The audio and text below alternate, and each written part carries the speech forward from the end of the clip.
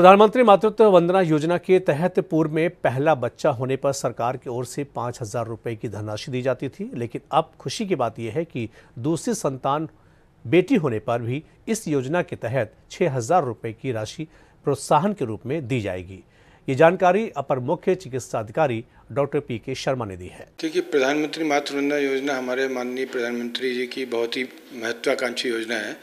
इसका जो मूल उद्देश्य है, वो ये है कि प्रसव के समय जो महिलाएँ हैं, उनका देखभाल अच्छी तरह से हो सके।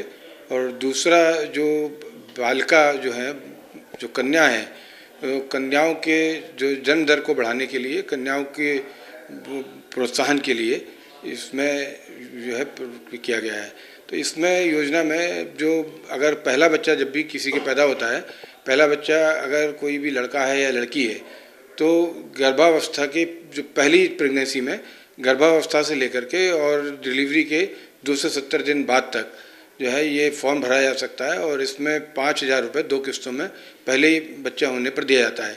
इसके अलावा अगर दूसरी कन्या होती है, दूसरी, दूसरा बच्चा लड़की है, किसी की हो रही है, दूसरा बच्चा तो वो सभी भी जो है इसके पात्र लाभार्थी हैं और उनको छः हज़ार रुपये एक मुश्त जो है कन्या होने के बाद फॉर्म भरा जाता है। और जब बालिका हो जाती है उसके बाद में फॉर्म भरने पर जो है उनको एक मुश्त छः हज़ार रुपये दिया जाता है। हाँ जो पहला बच्चा है वो दो किस्तों में मिलता है पहले बच्चे में चाहे वो लड़का हो या लड़की हो। और जो दूसरा बच्चा है चूँकि उसमें कंडीशन ये है कि वो लड़का होने पर नहीं मिलती दूसरे बच्चे में और केवल लड़की होने पर ही अगर दूसरा बच्चा लड़की है तभी वो धनराशि मिलती है। तो जन्म के बाद ही ये पता चलेगा कि ये लड़की है या लड़का है।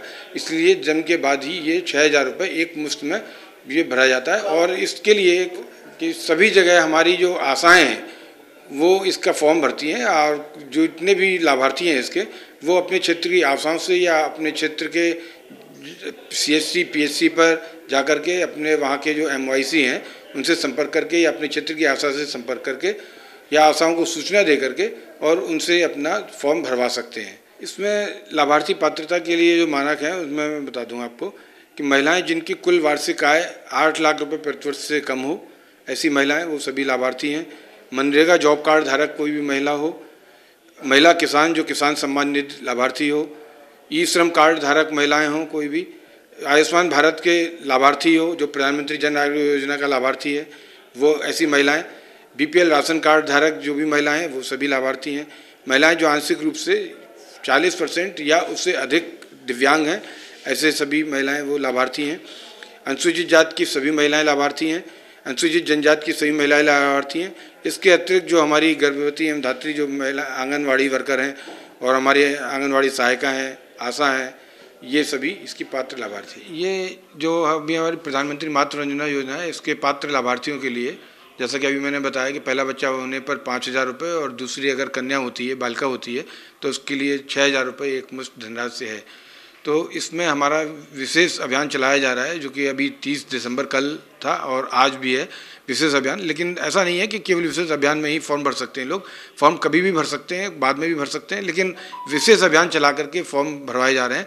तो सभी से अनुरोध है कि इस विशेष अभियान का लाभ लेकर के अपने सी पर, अपने पीएससी पर या अपनी आशा, जो आपके क्षेत्र की जो आशा है, उनसे संपर्क करके अपने फॉर्म ज़रूर जल्द भरवा दें, जिससे कि आपको जल्द से जल्द लाभ प्राप्त